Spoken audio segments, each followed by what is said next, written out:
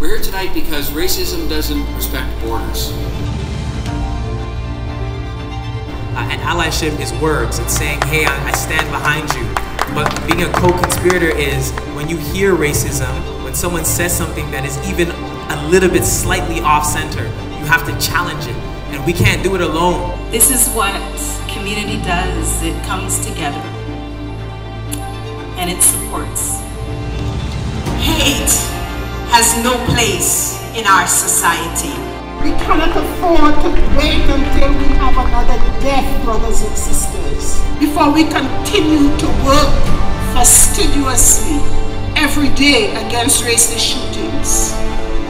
Every day we have to face anti-black racism.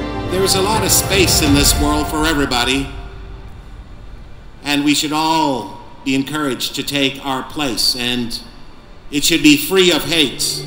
No justice, no peace. No justice.